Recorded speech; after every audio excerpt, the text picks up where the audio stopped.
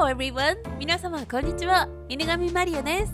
バレンタインデーキースということで、本日はバレンタインデーですね。女性の皆様、友チョコ、キリチョコ、本命チョコ、渡す準備はバッチリできてますか？男性の皆様、何個もらえるか楽しみですね。最近はキリチョコを装った本命チョコとかもあるそうなので、ホワイトデーのお返しは豪華に行った方がいいですよ。さあそんなバレンタインデーにぴったりなゲームをご用意しましたこちらの幽霊が可愛いゲームこの幽霊を操作してお店に買い物に来た男女をカップル成立させてあげるみたいです Two people the same age with a couple related interest are both in a convenience store at the same time. It must be love. Make them notice each other. えっと、ゲーム紹介のページには、失恋したばかりの同じ年の男女が偶然にも同じ店を訪れていますって書かれてましたね。これは運命の人に違いありません。カップルになれるよう導いてあげましょう。あ、お店めっちゃ可愛い。もう全面バレンタインデーカラーになってますね。で、私がこの真ん中の幽霊さんですね。で、この子を操って、この左の男性と金髪の女性をカップルにしてあげるっていうゲームですね。まさに愛のキューピッドですね。で目標が2人が探している共通の商品を見つけてバスケットに入れる。バスケットはこれですね。この真ん中のカゴ。ここに入れますと。で共通のアイテムなんだろう。男性が欲しがってるのは soup apples plates apple soup plates. Wait can you use plates for soup? いや使えないんじゃないかな。スープ缶とリンゴとあと平たいお皿ですね。平たいお皿はスープには使えないよ。こちらの女性は painkillers bread fresh fruits. I shouldn't be taking this long. 探してるのは鎮痛剤パン。新鮮な果物なんですけどちょっとあんまりゆっくりしてられないわねって言ってるので早めに見つけないと帰っちゃうのかな。この箱はこれコーンフレークかな？ね日本で今年大人気。M1 私も見ましたよ。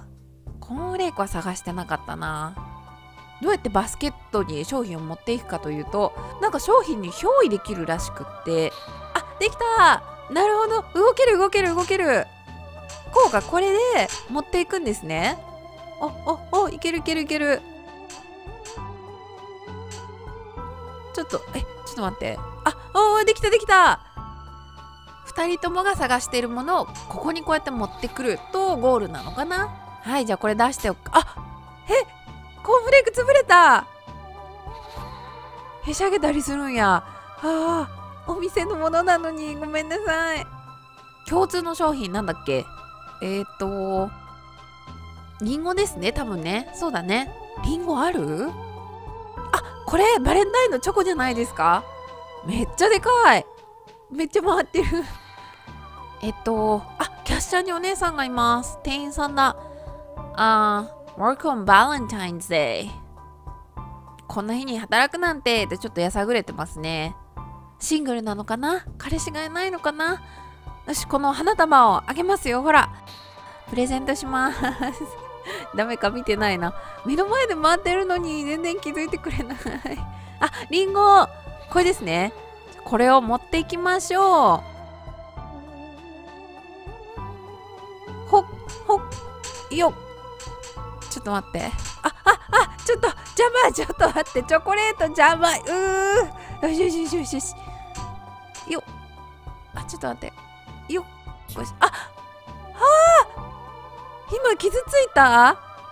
なんか身が弾け飛びましたよねやだちょっと待ってこのチョコレートをクッションにしよう。高いとこから降りるときに潰れちゃったからここに着地しましょう次は。ね。まだリンゴあったし。あったあったあったあった。今度こそはようまくいくうまく言えるぞ。ほっほ。よ。ちょっとめっちゃ慎重に。あ チョコ使わなかったね。もうチョコ邪魔。うーんよ。めっちゃ足元で今リンゴ転がってるけどね、スルーですね。見えてないのかもね、憑依してる間。あ、いかな。い。よし。いけた。目標達成。男女が歩いてきて、手を取った。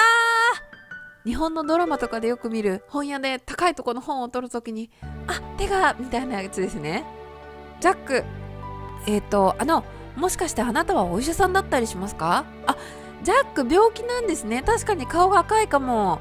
だからリンゴとかスープ缶探してたんだ。どうなの？女性は？ジャネットさん。Don't worry 心配しないで。えっと直訳するとリンゴは私をあなたから遠ざけることはできませんですけど、まあ、これは私が看病してあげます。大丈夫ってことですね。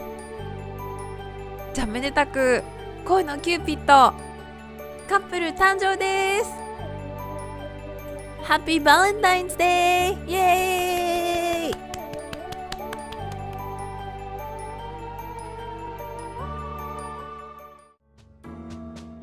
バレンタインデー用に作られたミニゲーム。